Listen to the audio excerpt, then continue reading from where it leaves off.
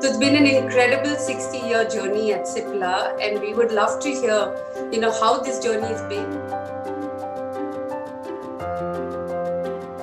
Doc, are you proud of where Cipla is today? I think Cipla has done remarkably well. I'll give you a very interesting story in this growth and why I'm so proud what Cipla has achieved and what if father would have been alive, how happy he would have been to see Cipla's position and whatnot today. In 1971-72, when we were when the patent laws changed in India, uh, we were ranked number 56 in India. When I joined Cipla in 1960, our turnover was 50 lakhs a year. When father died in 1972, our turnover was 1.6 crores and we were ranked 56 in the country. Then over the years, in the uh, early 2000, we were number one. Even today, as a standalone company in India, we would be number one. So that has been a tremendous achievement of not only me, but of the entire Cipla team, both past and present. And I think we should all put in a word of gratitude to all the the employees of Cipla over the years who've contributed to this.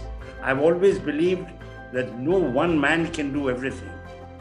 It has to be a joint team effort, and that I'm very happy to see that that is going to continue in the future.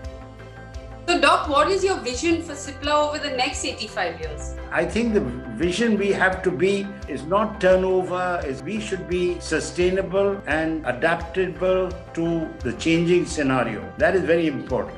So, Doc, on this 85 year momentous occasion, what is the one message that you'd want to give to every Ciplite around the world? I have always given the message that is the Cipla mission statement that what is important for a company is not its fiscal benefits, but its role in healthcare and how to benefit society in general. I think that's very important. If we can be of benefit to society, and I think and all the employees should be very proud and happy that how many lives in the past we have saved in Africa. How in the area inhalation therapy we have helped and improved the quality of life of millions of Indians over the years. We should plod along. We should try and partner more companies to bring in their new products to India. Again, we should fight that there should be no monopoly, that India should benefit from the latest drugs that are available abroad. We should partner with the government in India and with other governments if they want to produce their own drugs. I, I think one has to mix business acumen with a humanitarian approach to medicine. After all, your book that you've just launched is Caring for Life. In fact, it